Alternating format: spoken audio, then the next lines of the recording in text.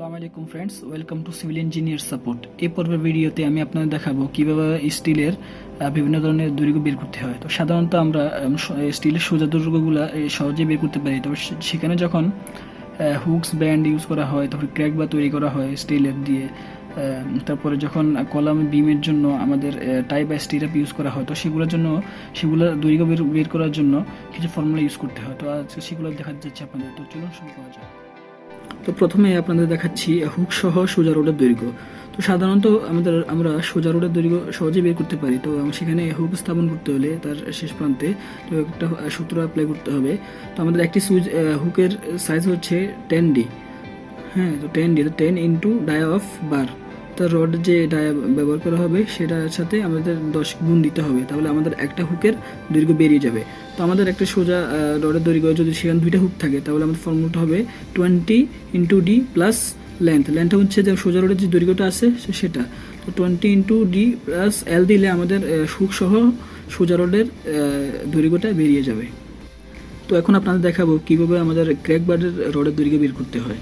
তো ক্র্যাকবারের রডের জন্য আমাদের যে সূত্রটা প্লে করতে সেটা হচ্ছে twenty into D plus L plus zero point five into D into two অর্থাৎ আমাদের যে সোজা রডের দুপাশে দুইটা হুক তো তো সেখানে ক্র্যাক বেস স্থাপন করতে হলে আমাদের সূত্রটা প্লে করতে হবে zero point five into D zero point five into depth of the slab অর্থাৎ যে স্ল্যাবের মধ্যে আমার যে ক্র্যাক বার তৈরি করা হবে, তার যে গভীরতা হবে, তাকে আমরা ভাগ দিলে যে মানটা হবে, তো সেখানে ভাগ দেওয়ার পর আসবে জিরো পয়েন্ট ফাইভ তো zero point five into D দিলে আমার মানটা চলে আসবে যে থিকনেসটা কতটুকু হবে ইন্টু টু ইন্টু টু হচ্ছে যে আমরা দেখতে পাচ্ছেন দুই প্রান্তে যে দুইটা আছে স্টিল আছে যেটা নিচের দিকে যাচ্ছে, যেটা টপ থেকে বটম দিকে যায়, তো সেটা দুইটার মান।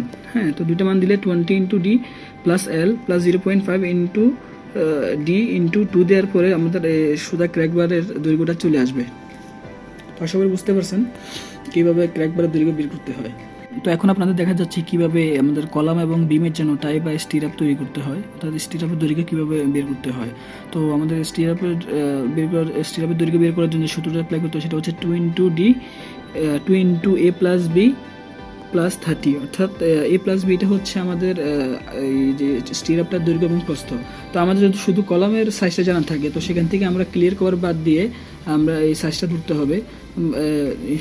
ধরার পরে যে মানটা হবে, তার সাথে প্লাস থার্টি দিব আমরা। প্লাস থার্টি দেওয়ার কারণ হচ্ছে আমাদের যে ব্যান্ড আছে চারটা প্লাস হুক সহ, তার জন্য আমরা প্লাস থার্টি দিয়ে দিব। তো এরপরে সুতোটা অ্যাপ্লাই করলে twin two A plus B plus thirty apply করার পরে আমাদের যে টোটাল যে টাই বা স্টিরাপটা আছে, সেটার দৈর্ঘ্য, সোজা দৈর্ঘ্যটা বেরিয়ে যাবে। তো আশা করি বুঝতে পারছেন। Thanks for watching my videos and subscribe my channel for more updates